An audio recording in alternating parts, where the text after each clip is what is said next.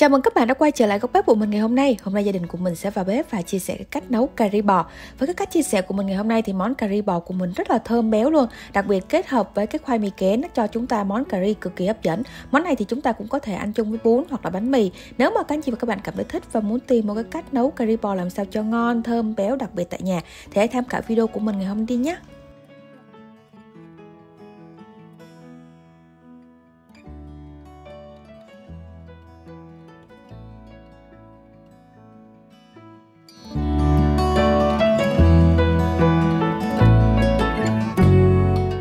Đây là tất cả quy luật gồm có. Đầu tiên thì chúng ta sẽ có 1,5 kg thịt bò, mình gồm có nạm và gầu nha, tổng cộng là một kg rưỡi. Mình có khoai mì kén nè. À, mình sẽ chia sẻ một cái video làm khoai mì kén ở sau nhé. Hai củ hành tây, bột cà ri, mình có 6 cây xạ, đặc biệt mình sẽ có quế cây nữa nhé. Nguyên liệu đã sẵn sàng rồi, đầu tiên thì chúng ta sẽ mang cái phần bò này đi rửa sạch và để ráo. Sau khi rửa sạch sạch để ráo rồi thì các anh chị và các bạn sẽ cắt ra cái miếng to to nha.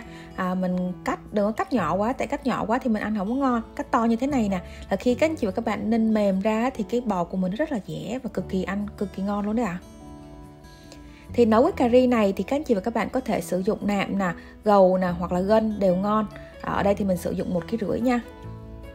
Đó mình cắt cục cục như thế này nha.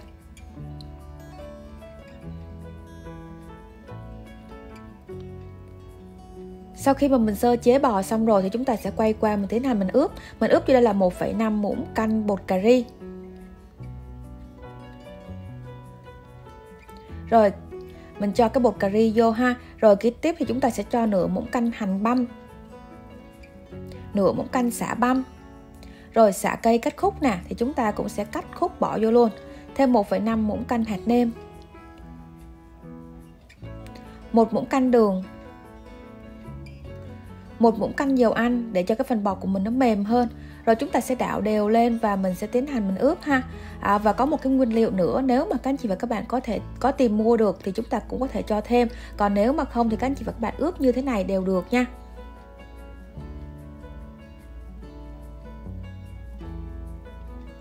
Và cái nguyên liệu mà mình nói đây là cà ri dầu ha. Nếu mà các anh chị và các bạn có sử dụng cà ri dầu thì chúng ta sẽ cho vô, còn nếu mà mình không có thì mình ướp như trên mình chia sẻ cũng được, đều được cả. Nhưng mà khi mà có cà ri dầu á, thì các anh chị và các bạn cho vô thì cái phần cà ri của mình nó thơm hơn, nó đặc biệt hơn. Và khi mà mình nấu á, nó sẽ có cái màu đẹp hơn nha. Đó mình khuấy tan cái phần cà ri dầu này vô và mình sẽ cho vô đây là một muỗng canh cà ri dầu. Như mình đã nói nếu mà các anh chị và các bạn không tìm được thì chúng ta cũng có thể không cho nha rồi đảo đều lên cho cái phần thịt này nó thấm gia vị. Và mình sẽ ướp ở đây tầm 15 tới 30 phút trước khi mà mình mang đi mình nấu nha.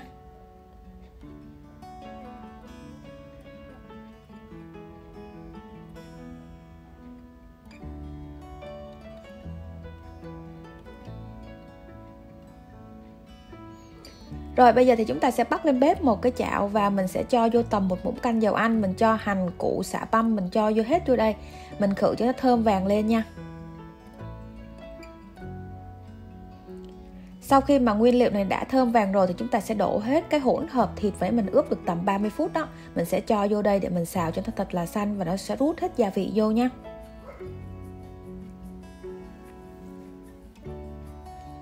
Mọi người nhìn thấy không ạ? À? khi mà các anh chị và các bạn có dầu cà ri mình cho vô thì cái phần thịt của mình nó lên màu rất là đẹp. Rồi đảo đều lên và mình sẽ xào cho thịt thật là xanh lại.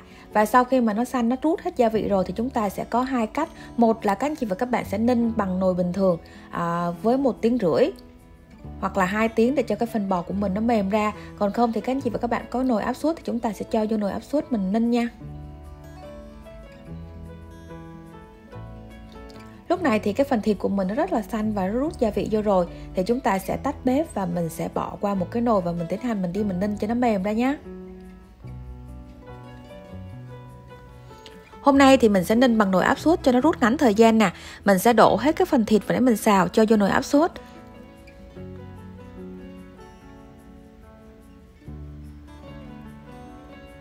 Đó, mình chút hết vô nha.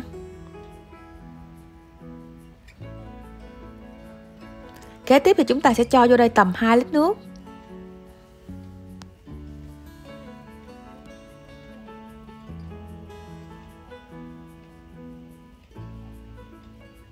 Rồi, mình sẽ cho vô nồi áp suất và mình đậy nắp lại khóa van và mình sẽ điều chỉnh ở đây là thịt hầm. Mình hầm trong vòng 35 phút nha. Sau 35 phút sau thì chúng ta sẽ quay lại và mình sẽ tiến hành mình nấu tiếp. Rồi, sau 35 phút nè, mọi người nhìn vô cái nồi thịt của mình đó thì nó rất là thơm luôn và nó sẽ mềm. Thịt của mình nó mềm nhưng mà nó sẽ không có bị rã ra. À, cái lợi thế của nồi áp suất là như vậy đó các anh chị. Nó không có bị uh, mất nước nha mà cái thịt của mình nó rất là mềm luôn. Và bây giờ thì chúng ta sẽ đổ qua một nồi và mình tiến hành mình cho uh, tất cả các nguyên liệu kế tiếp nha. Mình cho ra cái nồi và mình cho khoai lang kén vô nè. À, khoai mì kén đó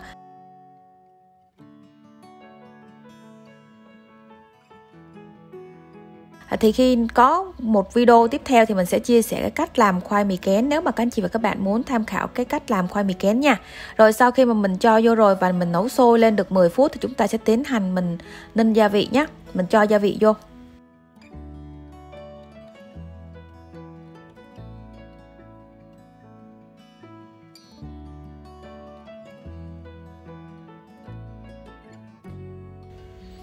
Rồi, cà rốt thì các anh chị và các bạn sẽ cắt khúc như thế này và mình sẽ tiến hành mình thả vô luôn nè. Mình ninh thêm 10 phút nữa.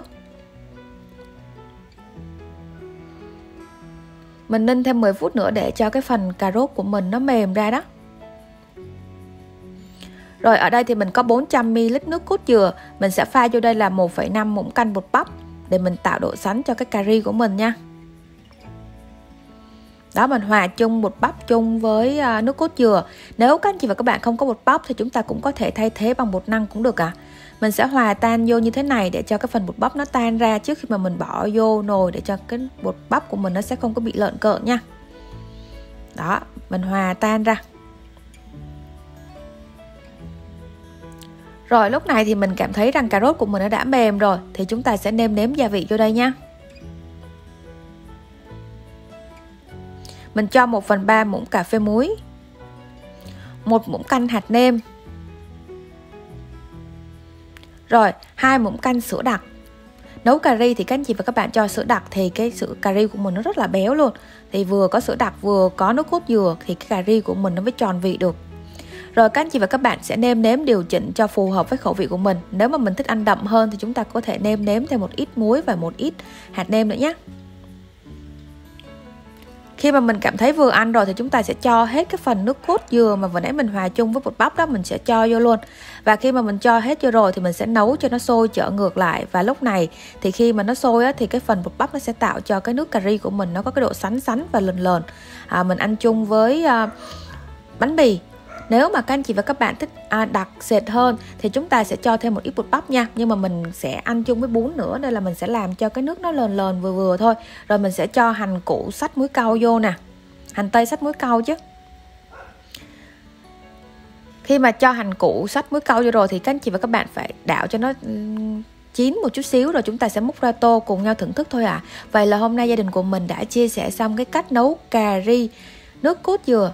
Nếu mà các anh chị và các bạn cảm thấy thích video ngày hôm nay thì hãy cho mình một like, một đăng ký, một tinh thần kính của vợ nhé có những góp ý nào thì hãy comment ở dưới để một bài nội trợ tại gia có thể hoàn chỉnh mình được không ạ? À? rồi kính của vợ xin chào cả nhà, hẹn cả nhà vào những video tiếp theo nhé